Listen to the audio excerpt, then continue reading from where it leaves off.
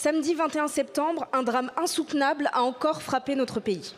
Philippine, une jeune fille de 19 ans, a été retrouvée sans vie au bois de Boulogne. La France a assassiné Philippine comme elle a assassiné Lola. Ces drames se succèdent avec une régularité effroyable.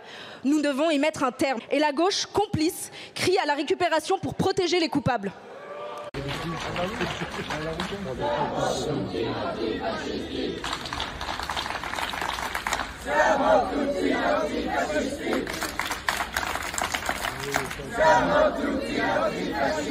J'en profite, mes chers collègues, pour vous informer que pour avoir organisé un hommage à Philippine, j'ai été insultée et menacée par des militants d'extrême gauche et parmi eux, parmi eux, des collaborateurs parlementaires d'un député LFI ici présent. Comment, comment pouvons-nous tolérer que des tels agissements puissent avoir lieu au sein de notre enceinte? Contre le chaos migratoire, osez porter ses convictions. Nous vous proposons de le faire à travers une proposition de loi qui reprend toutes nos propositions communes du passé.